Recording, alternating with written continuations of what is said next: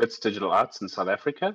Um, I teach game design, um, in particular analog games. I'm going to and pause you for a second. We're having audio issues on this end, so pause for just a second.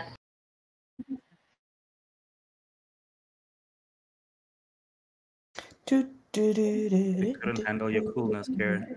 You broke the I think it was the swap of, of Nia and Romeo. or maybe the maybe the nearly trash talking Twitch. Maybe that's what it was.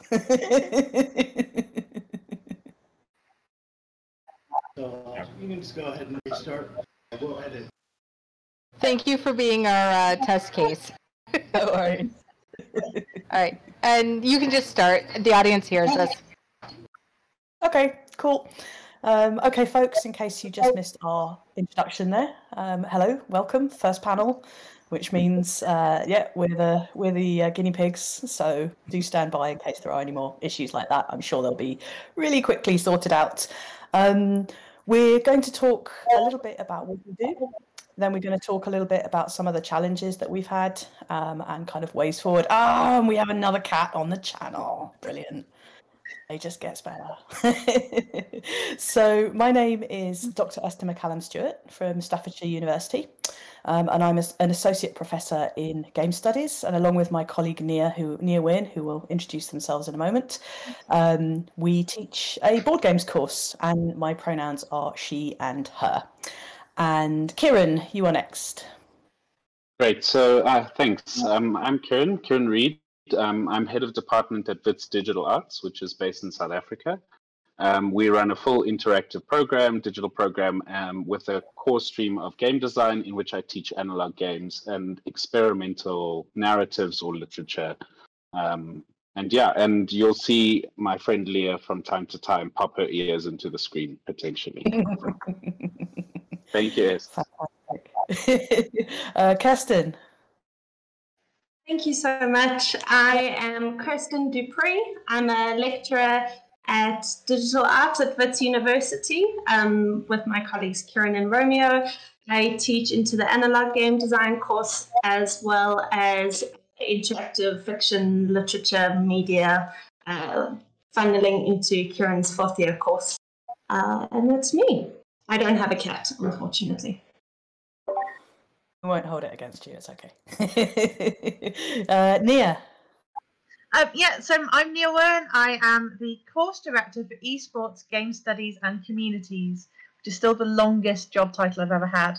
But I've been lecturing in games design for 15 years, um, in which I've taught sort of employability, but also narratology, um, and specifically pulled together a stream of experimental and analog um, gameplay modules within a sort of a much larger program um, at Staffordshire University, where the student body in games take up uh, it's about a fifth of the university. So it's the largest department by any means. We have thousands of students studying um, courses, but I've pioneered a sort of specifically an analog board game module that's been a core element of the computer gameplay design and production and the game studies course for a number of years. Um, I also don't have a cat.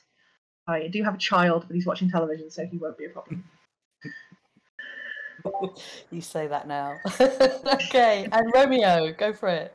Cool. Um, I'm Romeo Molongoana. Um, I am a co-lecturer uh, for the analog game design uh, class along with Kirsten. Um, I'm currently uh, doing my master's um, on the evocative nature of video games. Um, and yeah, it's, it's a fairly new territory for me. Um, I've been here for about, I suppose, three, four years. Uh, I also don't have a cat. I have a dog who likes to pretend she's a cat. But yeah. I feel like I feel like we're doing well. We're a menagerie. okay, so um, let's start by just talking a little bit about what it is that we actually teach, because I think giving a bit of a grounding of- that, you know, having a course that seems to perhaps have less games that you're teaching games within, and a course that is courses that are very centered around games. It's really interesting. You've got two quite different focuses there, and I think they bring really different things. Um, so, Nia, do you want to just describe gameplay applications? Um, And then we'll move over, to the others. Yeah, so gameplay applications is a, a module which is what we would call, and most people would call a course. It's part of a bigger program of study. Um, it runs over both semesters, so um, September or October to April typically. Um, it's gone through so many iterations. Initially conceived as a sort of games jam for credit, but in fact then gravitated to be physical games and look at gameplay as a whole, and then kind of settled on being a year-long game analog gameplay solo project. And that's the solo bit is really important because one of the things we noticed we do loads of group work we've got loads of teams we've got teams at the moment making games but we actually found that there wasn't anywhere where students had said we've started a project i've started and i've finished a project and i've done everything so we kind of conceived this thing that stepped away from using game engines almost all of the rest of the teaching we do is either making game engines using game engines or putting things into a game engine and what i got i noticed was we started to have students that made very similar games because they were just going by what the game engine could do. And what we wanted to do instead was actually see what the students were capable of designing if they weren't held by the game engine in some way. Um, so we've kind of always pitched it as this is your chance as a designer to say I can make this, and my the only thing that held me back was cardboard. Um, and also, there's a load of project stuff and a load of production skills things that come in with that. So now, yeah, in so up until this last year, it's been this sort of really long project in in making a game. We changed the theme every year. We took them to a museum one year. We've used the Dewey Decimal System to inspire them in the last couple of years. We told them to it could be about science, but it had to be fun at least once. Um, we're not looking for educational games. We're not looking for uh, games to teach anything because we find they get really hung up on like specifics of oh i'm going to make a game that teaches people a certain language and like no we just want something fun we want to really push play but also um, play testing as well and get that whole iterative design thing down so there's a lot in amongst this one module about games um, about making board games that the students don't necessarily realize so that's us at staffs so how does that compare to the to everyone else's module. Yeah, she did my job for me. so yeah, I mean, it, you, a lot of the things that you're mentioning there, I, I, picked up as sort of keywords that we're really interested in. Um, you, so ours was originally it was the first sort of game design program in Africa, and it's it's particularly geared towards making designers as opposed to kind of developers. But what we did was we work with students from engineering and students from the School of Arts. So we have a cross-discipline kind of curriculum that's that's moving forward in those two directions. And since the inception, we've really thought, as you were mentioning, it's not it's not about the game engine and it's not about the kind of graphics and it's not about these kinds of things. We actually want design thinking. Um, and, and our motive and way of working has always been paper, pen, cardboard is the way that you can actually think through your design. You know, because a board game can't hide its rules. It's really easy when you're playing a role-playing game, a digital role-playing game. The dice are being rolled, but you don't see it. So, so we really want our students to actually actively think through those processes and think through, oh, how do I get my player to be excited about that, or how do I get them to engage with that, or think it through in some way, shape, or form? So, so very much a, the same sort of thing in terms of this is design thinking first and foremost, and in particular, designing play experiences, designing fun things, and working there. Um, it's a full year long course, ours, and it, you have to do it to go to game design two, where you learn to code, and then in game design three, you kind of mix the two together. So you've got the design thinking and the kind of coding together and very much iterative process through and through. That's really what we want. And we want to also kind of teach and highlight playtesting as, as a huge aspect of what they're doing. But for some reason, they're terrified of playtesting the students. Um, it's, it's, not their, it's not always their strong suit, um, even though we say in almost every lecture, have you playtested your game? But um, it, it does vary when, when they do or don't playtest. Um, so yeah, that's our course. I don't know if um, colleagues want to add anything, but I think as a general overview, yeah, that's that's the course. Uh, yeah. I'll just add that I'm thrilled to hear playtesting and iterating coming from another department because our students don't always believe us when we tell them how fundamental those two processes are to game design. So um, it's quite validating for me to hear that. Uh, and I may um, download this and upload it as a lecture for next week. it's, I mean, the similarities are amazing. And yeah, for us as well, it's exactly the same thing. Students don't seem to believe us that we're like this is how games are made yeah, I'm just going to make it. Like, no, but it needs testing. What do you think testers do? Uh, I don't know. Like, mm. yeah. So it's so happy for me to hear. I think I think it's really interesting that you're teaching um, analog before you move on to the sort of coding because we have the, the students our students tend to come from the other the other end so they've already done um, bits of bits of kind of uh, using coding using um, development and production but so they're kind of used to doing it online, but they're not used to doing it physically. Um, and I think it's really kind of fascinating that they wouldn't produce a game, you know, online. Mm. and then give it to the give it to the adoring public. Like that has mm. to go mm. through constant playtesting and yet this this seems to be such a kind of sticking point. Um, and rules is the other one i think we can kind of go on to rules. But romeo you were a student and now you're a lecturer. Kind of what what's your take on the playtesting? Because you must have actually gone through that. How did you how did you actually find that that affected you when you were actually a student? And then how do you feel about it now as a lecturer um i, I must say I, I, don't speak for everyone um who was in my class uh but we very much saw it as a it's a thing we got to do to get marks um, it wasn't so much as okay, it's going to help towards the development and design of our games. It was for a matter of hey, they say we should do this, so how about we do this just so we don't lose out on marks. Um, and that's sort of the approach that we had, but um, uh, or rather that we had in the beginning of our first year.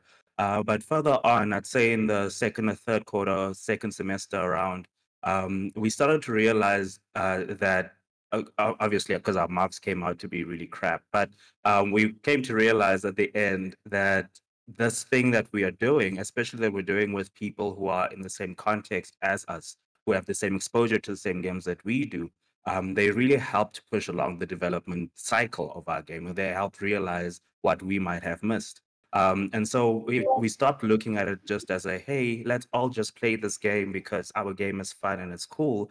And it started to become a thing of, let's, how, how about we start keeping record of what you say? Let's keep record of how you're playing. Let's keep record of the different actions that you that you're doing. That way we can actually start to track and create, I suppose, a graph of sorts um, that that follows what how, sort of the optimal way to play our game. What is the optimal strategy that people are employing? And there started to be sort of this I want to say nuanced understanding of of really why we're doing all of this instead of hey, it's just for marks. Um, but moving out of the space of you know from student to lecturer, I think uh, I, it, it's odd being on the other side just because um, while we had the idea of it's just for marks, there's almost a uh, I want to say latency to picking up the ideas of of playtesting. I mean, people or most of our students would think that um, you know, if I give it to my mother and we play together and we have fun, then that's all it is. Um, and that's sort of the, you know, the, the, the ceiling that it's going to reach. Um, when, uh, when normally you start to see that again throughout the semester, that there are more students who, uh, who start to realize that, hey, you know, playing with my lecturers, playing with people in um, in my household, really helps to develop this thing into what I want it to be, um, and sort of ha- getting them to really or pushing them towards them realizing for themselves instead of telling them what it's for. Um, is sort of the the approach that yeah that we started that have that we've started to take there. I think so. There's something you said right at the start of that that reminded me. So we change the assignment every year roughly in how we've marked things. The year we didn't grade prototypes, no one made one, mm. even though they needed to make a prototype in order to make the the final finished game.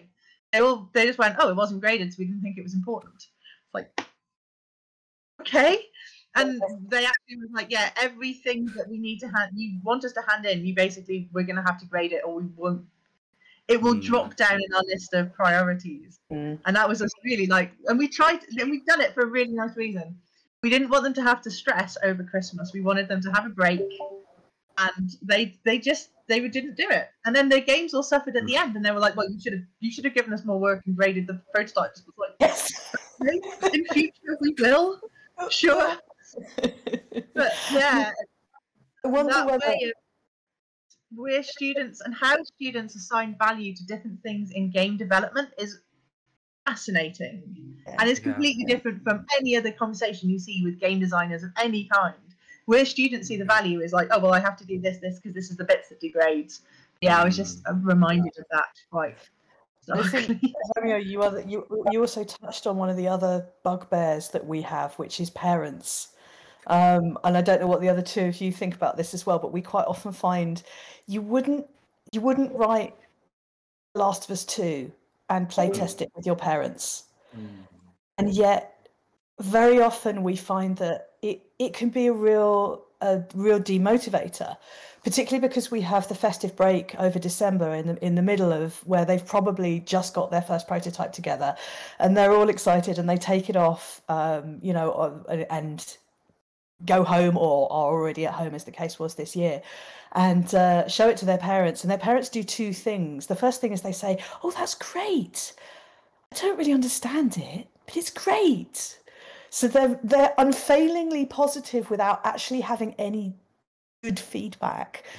But we've also found that the other one is that parents also will also say, "Oh, what you're doing is ever so complicated," Mm. and so that's also, you know, we have we have students who are developing these wonderful, you know, worker placement games, or they're kind of thinking, you know, they've got some sort of uh, deception games. We've had a couple of really good ones, and their parents just don't really understand it. So whilst they're very very positive, the students will often come back and say, well, they didn't really understand it. But then we kind of say to them, that's not really the target audience, you know? so, yeah, kind of um, feeding back to you, Kieran and, and Kirsten, have you got kind of any sort of input on this as well? So, Disembodied This- voice jumping sorry. in. Uh, Kieran, there's a question from the audience about what the difference between um, designer versus developer. Okay, great. Um, um, so yeah, so in our mind, the you know because we're focusing on the designing the play elements um, and how people interact and engage with a particular game, I think that would be our focus on what a uh, on what a designer is. So so what are the mechanics? How do the mechanics work? Um, how do people engage in various different ways um, and think through sorry and think through play and all of that kind of stuff um, versus the developer, which you know, in in terms of the at least in the coding courses, is very much coding it to the back end, developing it, kind of taking it further, making sure that the mechanics do work, making sure that when you jump and hit into an object, it actually does jump and hit into an object. So so we have shifted around into that sort of kind of thinking. Though I do understand in board games, a developer is something different from in digital games. So, so I, we don't do kind of development in a board game sense of someone takes over and does the play testing and works through it in that way. We, we're talking more about the kind of coding and, and assembling the the piece um, together. I hope that answers. The yeah question we see that yeah we see that in exactly the same way it's exactly how we'd see the difference between designer and developer and we're really focused on sort of the de- the designer as opposed to the sort of the back end developer or anything. Um but yeah so it's really nice to hear that sort of definition coming from another bit. But yeah esther you forgot one other type of thing that parents do which is join in on the development. So quite often this yes. because it's a physical element and a physical assignment. This is the first time that they've been able to like help with homework. So we have before now had parents help make figures help with painting help like actual board construction we um, have because and i remember pieces one year? Didn't somebody craft Yeah. something? Yeah, like they made Yeah, they- people a meatball. Yeah, it's not family. that. crafted um, player characters. And I had uh, because we used to have a, a virtual, we used to have an actual board game expo, and my parents turned up to it.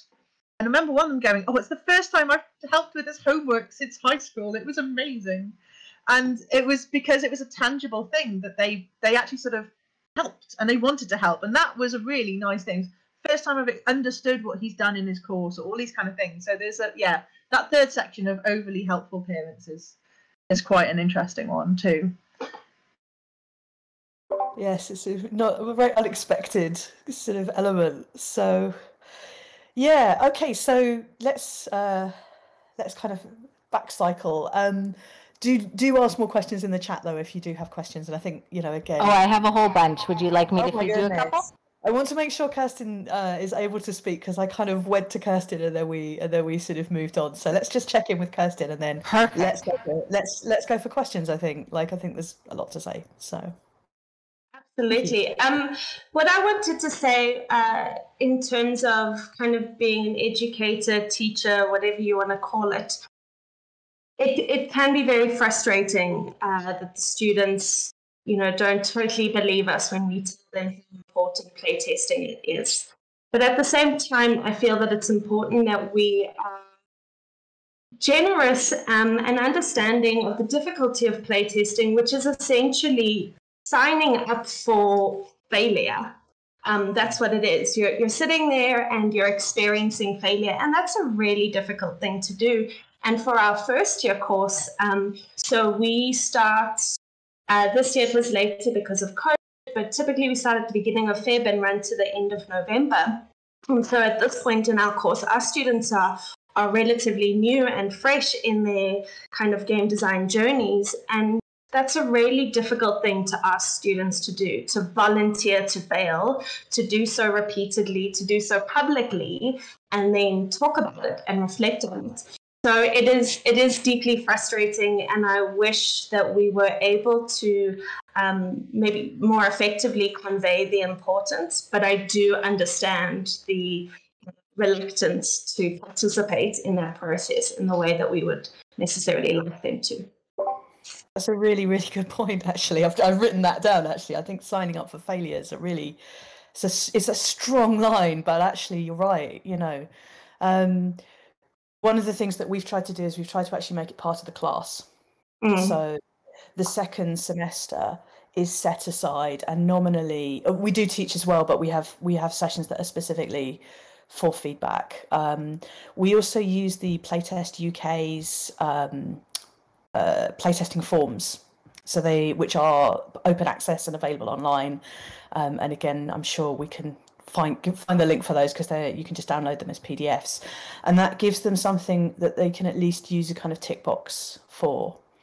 Um, but one of the other one of the other things that we've done, which we find is both successful and hated, um, and again, is we make them swap rules. So we do it. We do a couple of sessions about rule writing, where we take them through, you know, the sort of semantics. I do a really terrible presentation where I use the word turn about 900 times and talk about, you know, what does a turn mean? And if this is just one word, then, you know, think about all the words that you're using. And then we do one that's very much about teaching how to write rules and the sort of order. And we break down, um, hey, that's my fish, which has got something like 300 words in the rules. So you can go through the whole thing in a lecture, but it's really, really carefully done and it's got great illustrations. But then we make them sight unseen swap rules with each other. So they're not given the game, they're just given the rules as written down. And they have to then go through them. And they also, because usually, even if even if they weren't physically in the classroom together, they'd be on teams together in in very small groups would then have to talk to each other about the bits that they didn't understand and you know we'd get them to sort of work through it and we found that that was really really useful. And it goes from really fundamental things both Nia and I have have our personal hang-ups. Roll a dice is my favorite personal hang up how big is your dice? How many sides has it got? Because rolling a d6 a six sided dice is very different from rolling a 20 sided dice. You, your game has completely changed immediately. And, and so, kind of doing this rule swap with them, we found was really, really did help them kind of firstly start to approach ways of talking to each other. Because, as I say, they're face to face and they we, we couch it very much as a sort of help each other with you know this isn't about spelling properly this isn't about writing properly this is about clarity um, but it they really don't like that session you know and they often again we have to do quite a positive teaching session afterwards because they'll be kind of very sort of oh my rules are terrible and I'm like well they're not good now, but they'll be better. You know, you're you, you're you're definitely going to improve. you know. I'm a big Ah. fan of a whimsical starting, like whimsical starting thing of who picks goes first. That's my my big one. Is always like make it fun, make it so it's an icebreaker, and the students hate it. yeah, yeah, we've had some good ones there. Go on, Kirsty, what are you going to say? Um, Geoff Engelstein's latest book on um, publishing and producing a board game has a really excellent chapter on writing rules, um, which you may find useful if Yeah. you are looking for resources. It's really, it's really great. Um, the best kind of written explanation um, that we've managed to find. Cool. Yeah, yeah, because if you don't understand the rules, you're not going to come back and play the game. Yeah. Um, sorry, I just want to add a little bit. Um, I, I like that idea of swapping uh, rules. It's something we had adopted um, in 2019 and in 2020 we did a, a bit of a very sorry, I'm talking a little too quickly. Um, we did a little bit of a variation um, uh, on it in, in, in 2020 during the, the lockdown. Um, and we found that what's interesting with, with that, I mean, yes, it, it, it bridges the gap between, you know, uh, the physical distance and we get to know each other quite a bit.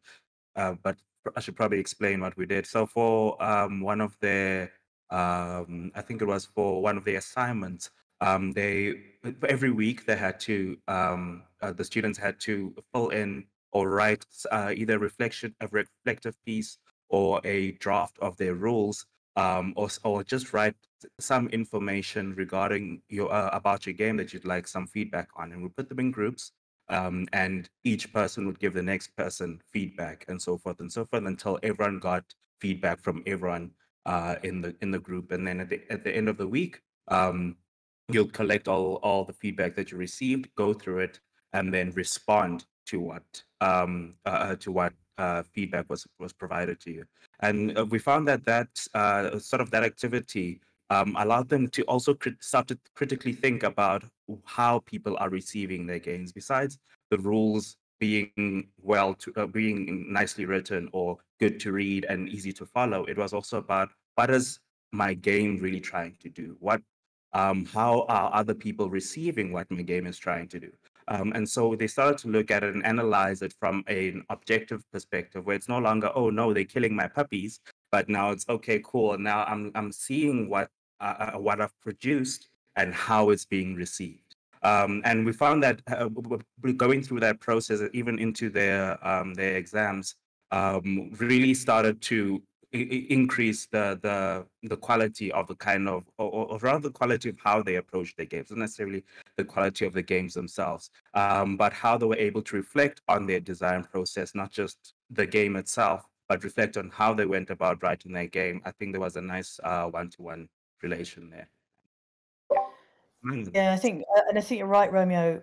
We've also we also try and really make sure that we're teaching students about kind of the ecosphere of board gaming as well. So we make, and I think that idea of reception, like, yeah, it's not just the rules; it's how the rules, what the rules, where the rules, and you know, um, we get them to produce a sell sheet in this kind of, you know, if you're going to go take your game out and sell it, then, you know, what are you you know what what do you say on that that you don't put on Mm. the box um you Mhm. know how do you catch people's attention um yeah so i think i think that idea of kind of production and reception really kind of comes in as well so hmm, ooh, so many oh, just writing notes that you probably see me shall we take some questions Yep, I'm here with one now. Um, Melissa in AU says, "I'd love to Oh, hear hey, how Melissa. uh, I'd love to hear how COVID has affected this physical design process, both in a practical way and also in terms of the types of designs students are making." Nia, do you want to take that from us because we had a really specific Yeah, I, I will. and then let's move over to the others So obviously, yeah. Um. So we we realised one thing very quickly. So for us, I suppose COVID, COVID obviously happened last March, which was just before, not last March, March before, which was just before they were handing in the board games they'd developed for the whole year. And that sudden flick to online, we transferred to go online like within a week. That suddenly meant they couldn't hand in physical games. We had to rely on photos. We had to like they had play tested, but it had already been a bit like I'm not sure I want to play test. I'm not here. I've heard these things, um, and that became really interesting. So it affected the the hand in of the year before quite like the games themselves were kind of as made as they were going to be made but we suddenly had students self-isolating and couldn't get paper and couldn't go out and couldn't get resources in and they couldn't come into university to print. So that affected things. And then we realized when we had all these photos in and we asked for what would be inside the box and how would the components be we actually didn't necessarily need the physical games handed in to be able to grade what it was going to be like we already had the sell sheet we already had um, rules. We already had uh, like there's a self-assessment part. So actually, the physical game had been nice, but wasn't necess- necessary. So when we came to planning this year, which we knew was going to be entirely online, um, we did two things. One, we actually curtailed the amount of time to make the game because we weren't sure if we'd be back in in January or not.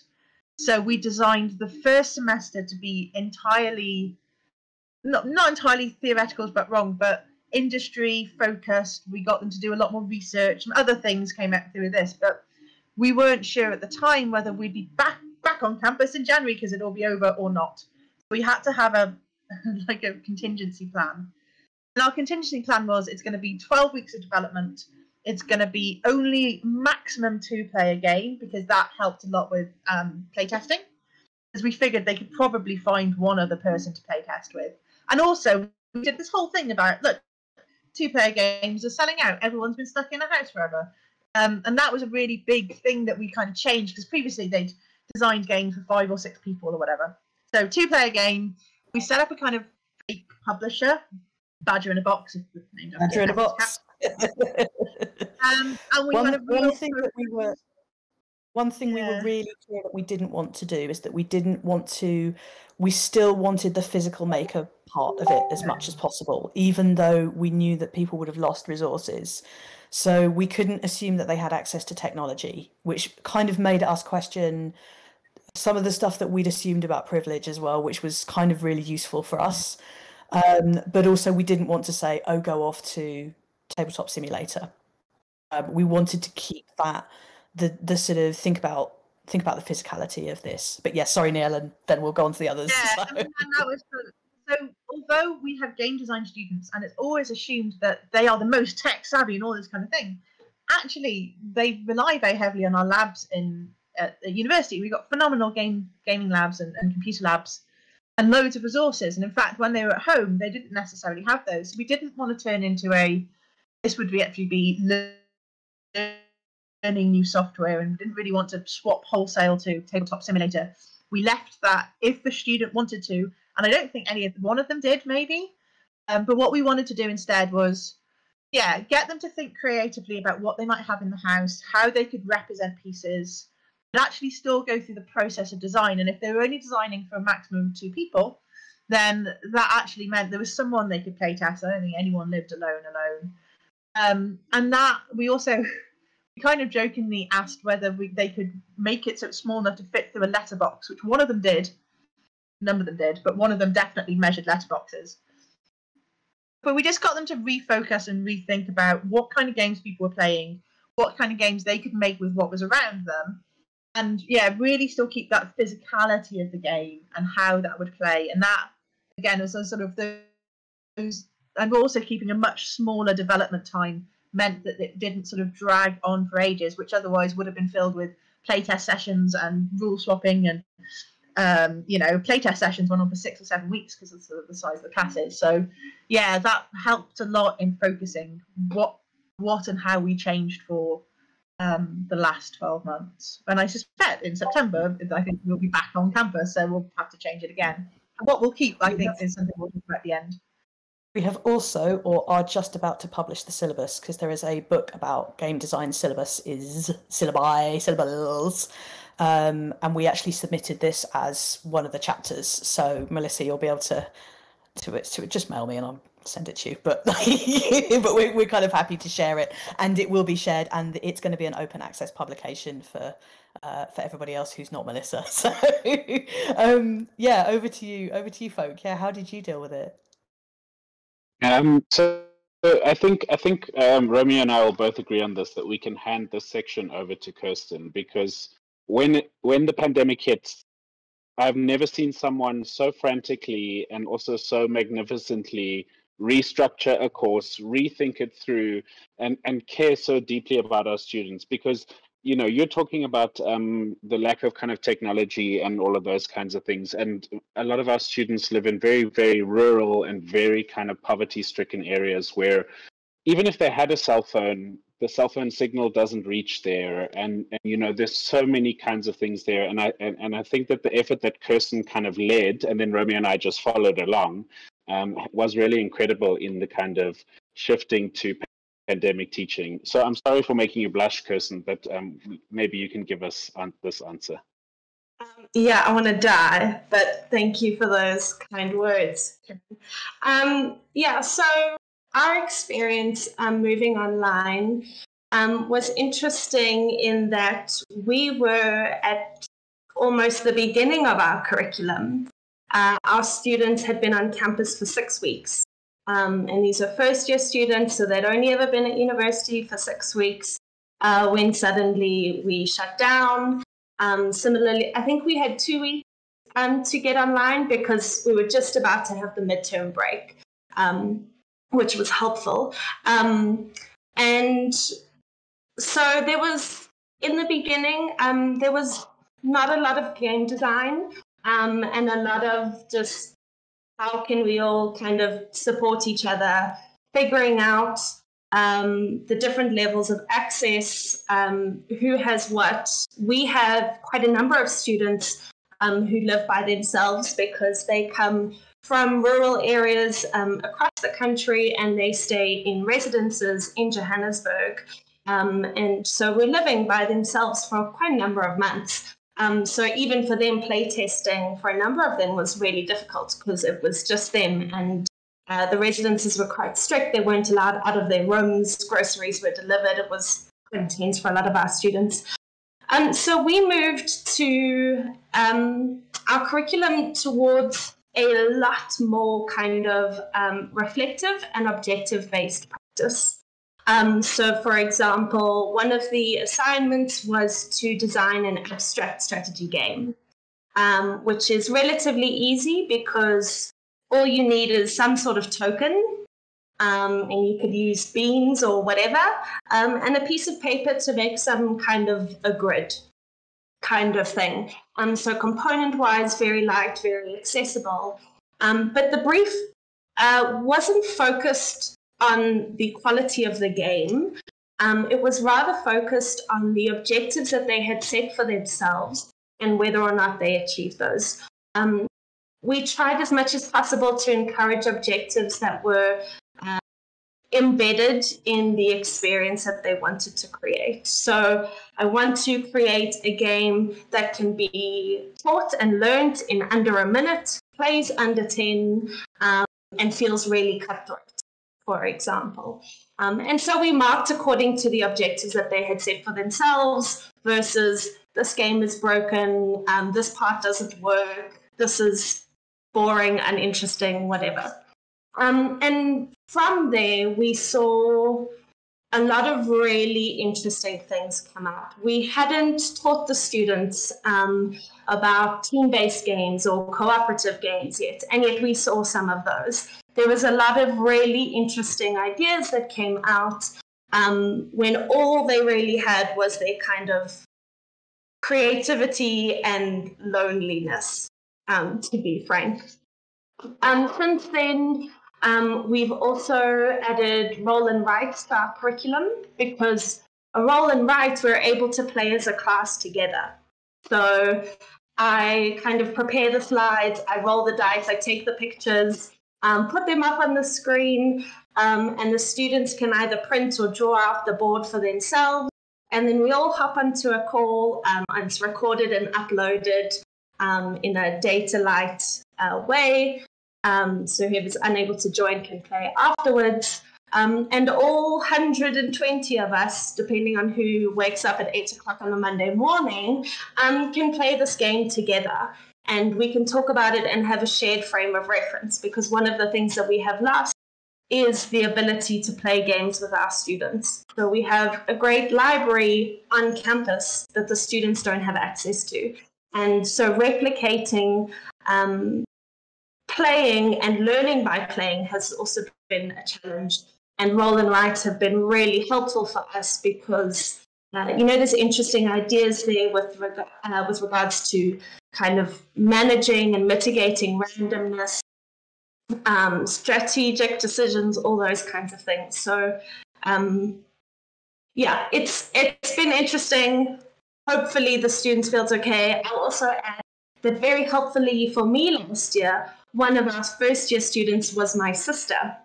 And I moved back into the house to help my parents with childcare. And so one of our students was about 10 meters away from me, and I could get a pretty clear sense of how the students were doing. So thank you, Michaela, um, for, for that. So that was us last year and still currently, unfortunately. Yeah, and if if I can just add, I think I think what's been really great. I mean, obviously, COVID hasn't been great, but what has been really great is that our students' ability to reflect and to write critically about their work is is much better than it ever was. Um, Mm. And and you know we've learned a lot of kind of teaching practices that we can now implement even when we go back. And and I'm quite Yeah. excited for that to be back in the classroom, but with some of the thing you know we have a they do a design journal. They have to write in each week about every game they play, every decision they make, all of those kinds of things, and they they're just able to talk about it much better. Um, and and that's been a really great thing about COVID. I hope that answers the question we have. yeah, I think. I mean, I think I, Nia and I've talked about this a lot as well. One of the things that we discovered, which in retrospect seems to make perfect sense, but only really clicked when we started to teach online, is that people communicate in different ways. We, we know that, and we hadn't it hadn't gone through our system, so we saw students who not a peep in class who were suddenly most active on the chats or they're mailing each other a lot or they're communicating online. And then the, ones who would always speak up in class are speaking up still. Um but that yeah the, the, the self-reflection yeah i think we could absolutely completely agree on that as well so yeah okay we have about 15 minutes left so uh avi have we got any more questions We absolutely do. The next one is uh, I'd love to know if playing board games has affected the way you teach. Uh, uh, the way you teach how to make board games, and was there a specific game that influenced your teaching? Um, yes, because again, I think you have to do in order to, um, you know, in, in order to be able to teach things effectively. One of the things that we discovered, and we discovered this quite early on in the teaching, is that um, a lot of our students were very knowledgeable about video games, but they had virtually no knowledge of board games. So they would say things like, we, we actually get them to do a reflection in the first week where they talk about the games that they've played. And a very common sentiment would be, I've played all of the board games, I've played Scrabble, and I play Monopoly at Christmas. Um, so we actually, as you see, Romeo's just like, oh dear. so, but what we actually had to start doing was teaching teaching them to understand how to play board games. That, and we we did three concrete sessions, what we now call party games, gateway games, and sort of more complicated games, and that's those sessions have changed names. But I think for me, it was Hey, That's My Fish, which is an incredibly simple little box game. I should have brought it upstairs with me. Um, Badger, if you could go and get it, that would be great. uh, but yeah, you know, 350 words in the in the rules, very clearly written. Um, we had to change it a little bit because all the pronouns are he um, throughout, so it doesn't actually make that much sense when you're reading it out. Um, that it kind of makes the point that a simple game isn't actually all that simple to design and write. There's a lot of thought behind it. So We- yeah, We did let's plays as well. The first time ever I did a let's play of a game and I drafted in my six year old. Um, because why wouldn't you? um, to show also to showcase that games are sort of universal, but we played Go Nuts for Donuts, which I had for Christmas. But we actually do, a, and so yes, there's a video somewhere of me and my son playing it in which he won. Six people, um, and that was a really great thing to go like, it's these are not when you lots of them went, oh, I wa- I want to make family games, and I'm like, well, what do you mean by family game? What do you sort of pull across? And we did a lot of like, there's a pile of games behind me, and Esther has a whole bookshelf of games. We did a lot of like pulling games to the camera to show them that we owned them, and that was a really important thing for us to demonstrate that like these are games that we're not just talking about abstractly, but these are games we play. We talked about games that we played. We talked about games we played at Christmas we talked about I used to run, I run a board game club in a local city or used to when people got together and played board games. Um, and so I talked about how different people played games and really telegraphed the kind of examples we had where we couldn't, as we usually would have done, opened up our board game library, got them everyone playing whatever we had in there. Um, Um, but mm. yeah, We really also- showcasing these different kind of games. we had a slight issue with the board games library because we've also got quite a large board games library, which was that when the first lockdown happened, all the staff from the department ran in and took all the games mm. out. so we didn't we, we knew that they we've got a little list that says where they will gone but suddenly the board game library looked a lot smaller and there's a good hundred games in there because the staff had very sort of cannily rushed in and thought yeah i'll, I'll grab a couple of those so how about how about you folks Um, if I could chime in, if that's all right. Um, so uh, uh, uh, my, uh, I suppose context was a little bit different. As I said, I've only been teaching for like three, four years max. Um, and uh, I came from, uh, obviously, I'm, I'm black, and in the context of where I lived, um, I used to live in the Free State, where board games was was never heard of. It was it, it was a thing we didn't know of. Snakes and ladders was as far as we knew. Um, from the Free State, I was in Limpopo. Limpopo, we played um, hopscotch or skipping, and there was again board games wasn't a thing. Um, it was only once we moved here where um, my first exposure to board games was in things like Ludo, uh, also Snakes and Ladders, and and sort of the very basic kind of board games. But I think what um, what because uh, what brought me into the sphere of wanting to teach um, board games was for me Settlers of Catan, um, which Kieran introduced me to in my first year. Um, and we had a, a, sort of a tournament of sorts uh, where we'd come through every break, uh, play Settlers of Catan, and just before class, would Kieran walk in and be like, "This color won," and be like, "No, but all my work." Um, and um, and I think what uh, uh, why, why that game specifically is, is firstly, it was my first real board game. I mean, I had heard of Scrabble, I had heard of 30 Seconds, but none of them had the same sort of strategic planning as well as um, sort of play, if I could put it that way. Me and you, we come together, we play this thing um, as uh, as as Settlers of Catan. Um, and was again my my the first game that I had that really pushed that idea of what a game is for me as well.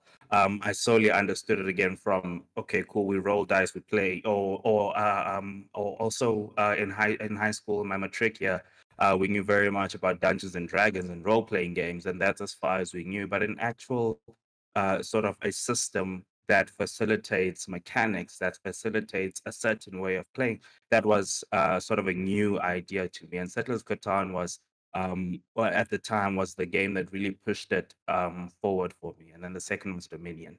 Um, but yeah, it all started very much with Settlers.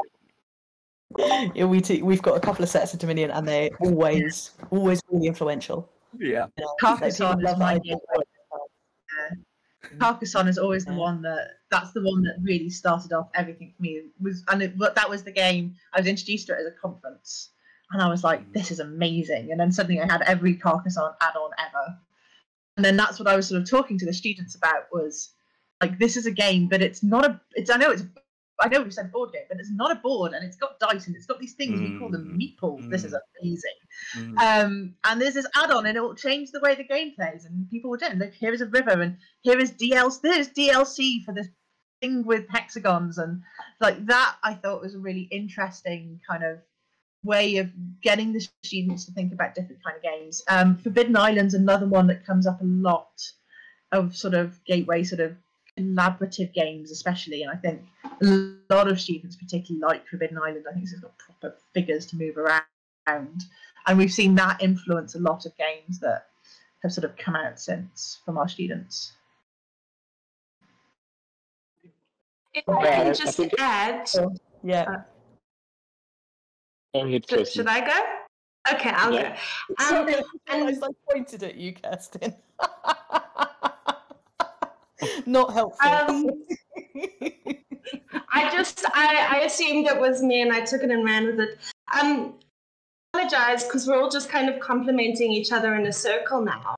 Um, but one of the things that's really excellent about Romeo's teaching, I believe he learned when he worked as a demoer teaching board games for a board game distributor here in South Africa. He spent many, many hours teaching people how to play Codenames.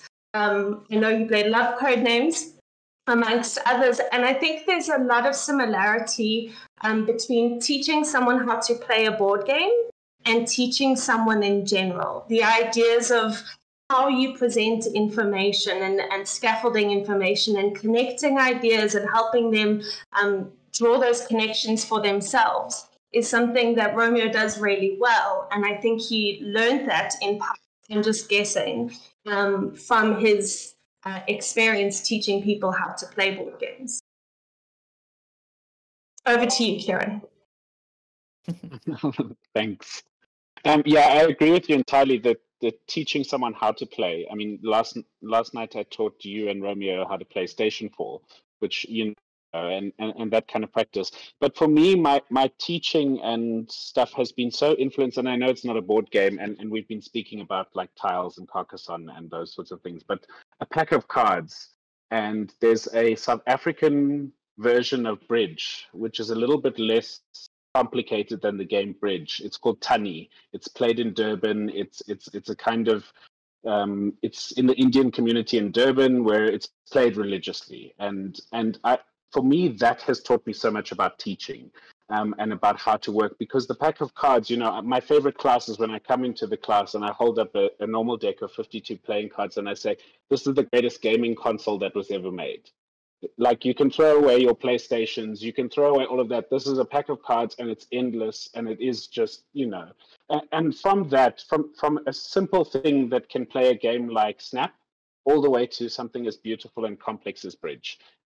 And for me it's been such a useful teaching tool um, because it's so versatile. It's random but also you can mitigate randomness. You can gamble. You can play silly fast you know it's just such a such a nice tool for teaching um, and, and a way to introduce our students who, who don't know necessarily about board games, but they've played Crazy Eights, which is like Uno in the in the schoolyard. And from there, I can teach them the next card game, then Bridge. And even from Bridge, there's so much kind of technical thinking that you can move into board games. So, so for me, it's a useful tool for exposure and, and thinking through um, as a pedagogical tool. Yeah. Yeah, I think I think also you know demystifying what you're actually presenting people with as well. You know, hopefully most people have been exposed to uh, games rather like chess. Actually, you know, it's it's a or Go, very universalized games played played around the world in slightly different ways or not. But yeah, yeah, no. Okay, we have five minutes. just on that, I'm reminded of the student that tried to, well, said he'd made a new game, and we pointed out it was just rummy. He refused to believe us. Yeah, We were like, no, no, here are the rules from like the bicycle website. Here are the rules to rummy. Here, see how. And he was like, well, I made it myself. Like, but it's not new. But yeah, I think, and I Mm. think that's really interesting. Is where you find students who haven't got a pool of knowledge from one thing or aren't like we have students who've never really played card games and one, one year i was like everyone redesign card games but you can't see the cards or something like something along those lines they were like i've not i've never really played card games it was like let's start um so that kind of thing i think is really interesting where you start to have those conversations of where knowledge overlaps and where people do know things and yeah definitely all the different tools that we kind of have and with the influences the students bring in as well as ours are really sort of key but yeah Cool. Okay, we have four minutes. Um, I'm not sure if we've got time to answer another question because we're taking about seven minutes on each question. So I think um, let's go round and see what what would you like to see or what would you what are you going to try to do um, teaching board games in the future? So and let's start with you kieran because i'm just going to put you on the spot. Um, that's no problem. Um, so uh, fortunately i have a bit of time to think about that because i only take the second semester which starts in in, in august um, kirsten and romeo in the thick of it now um, but you know, I, am quite I'm quite anxious and excited to get back to being in a classroom with the students um, and, and to kind of share the joy of it. Um, I think that as much as I said earlier that the reflective process has been really useful and really kind of um, pleasant for us as as as teachers, I feel we've lost some of the fun um, we've lost some of the kind of joy of the playfulness from the online environment. So I'm really looking forward to how to bring those back. Um, last year, I set the students tasks like figuring out how long my beard was just from an image that they'd have to write in their design journal. I mean, at that point, it was a lockdown beard, so it was much, much longer. Um, but just bringing back joy um, and, and to, to kind of highlight that and this is again maybe a little bit embarrassing, but Romeo, in when he was in first year, made a Street Fighter game, and in it, whenever a round started, he would be standing there and he'd go fight, and he'd make the sound. But there was such joy in in in seeing the students really enjoying that. I mean, that was late in the year, so he'd figured out how play had worked, and and I just want to see that joy and, and playfulness, which I feel the online has a little bit removed from us. Um, but yeah, and I also asked Romeo if he could package himself in boxes and send himself if he published the game because it it didn't quite work as well without him saying that. So yeah, I'm just looking to. Yeah. Amazing. Okay, in which case, uh, since Romeo is dying of shame uh, and and uh, embarrassment, I, I, feel like it, we feel like we're going around making everybody go slightly pink with uh, excitement. Um, okay, so uh, Kirsten. Kieran stole my answer, um, so I'll adjust mine slightly. Um, I think and I'm thinking now about my curriculum, about the last few weeks that we have of the semester, and as we move into exams. Um, the also, as Kim was saying, um, reintroducing some of some of the joy and the playfulness. Um, I, I really miss that. I miss our lab with a hundred students uh, giving me a headache because everyone's screaming because they're so excited, rolling their dice, playtesting their games, um, all of those kinds of things. But I, I'm, I've got another panel later on, but I really want to sit and look at my curriculum and see how we can introduce some more of that um, or, or, or, remove some of that fear of failure um, in, a, in a more active way.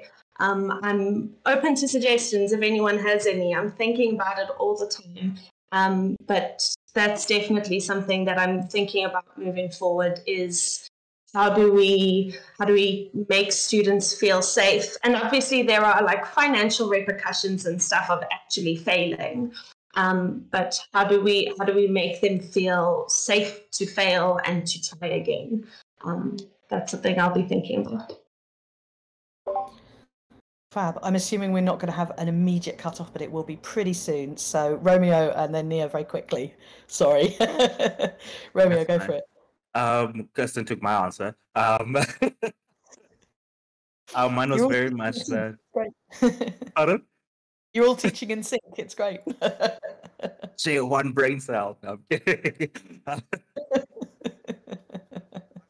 suppose mine would be very much in the same vein, um, removing that fear of failure. I've seen um, a lot, I think more now um, since since since the pandemic, um, that there's this push to I must get this right, and I'm doing this so that I am right or so that I get marks. When actually, uh, going back to my first year, and even up to my third year, in fact, it was very much a I'm gonna try it, balls to the wall. If it works, it doesn't. If it doesn't, well, well, we'll try again. And that's the kind of experimental energy that I feel, uh, as Kieran has brought up, that that we're missing in you know in being so separate. And something I would like to bring back. That play that I can just try things and see what comes out of that. And yeah, I, I like to say that to my students a lot. Just go balls to the wall. Just go ham. Go crazy. Just throw things and see what sticks. And that's what I'm really looking forward to more than anything. It's just for the craziness. Yeah. Yeah, I think we're similar. that, but, yeah. I know we've kind of talked about this because we teach together, but I think that it's really interesting to hear that same thing. I've missed the chance to play and to have playfulness come into classes. And we did a lot of stuff online, but none of it felt as playful and silly. And the stuff we did with our first years, where we talked about sort of everyday gameplay and things, that was a lot sillier. And we did some silly things with that. But the second years, it all felt a bit sensible and serious.